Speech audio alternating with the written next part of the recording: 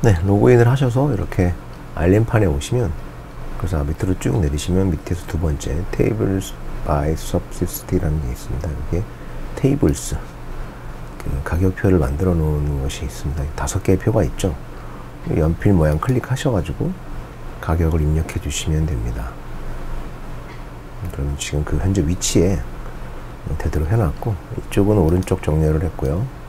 여기는 왼쪽 정렬을 해서 요, 여기다가 금액을 이렇게 입력을 해주시면 돼요. 뭐 여기 80이 되면 이렇게 될 거고요. 다시 돌리면 되고 다 끝나고 나면 세이브 버튼만 눌러주시면 자동으로 반영이 됩니다. 그래서 다시 한번 보시면 테이블스에 가면 지금 가격표가 다섯 개가 있는 그 표가 준비되어 있고요. 여기서 입력을 해주시면 됩니다.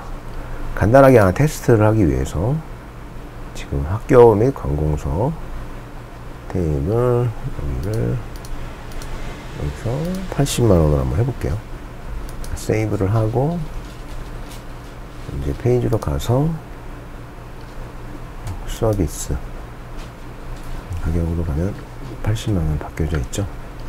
네, 다시 또 알림판 가셔서 복구해 놓겠습니다. 테이블은 여기 지금 Tables by Supsystic이라는 플러그인을 이용하고 있고요.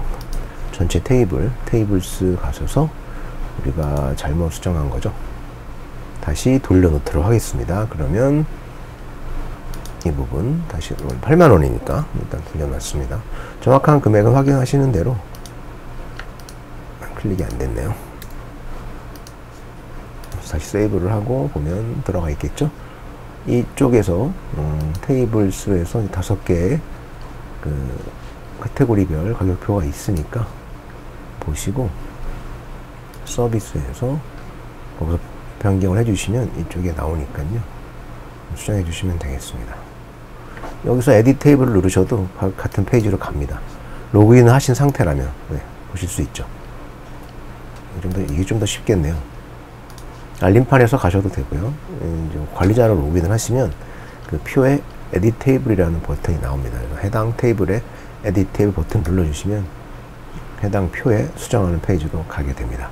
이렇게 수정을 해주시면 되겠습니다. 이상입니다.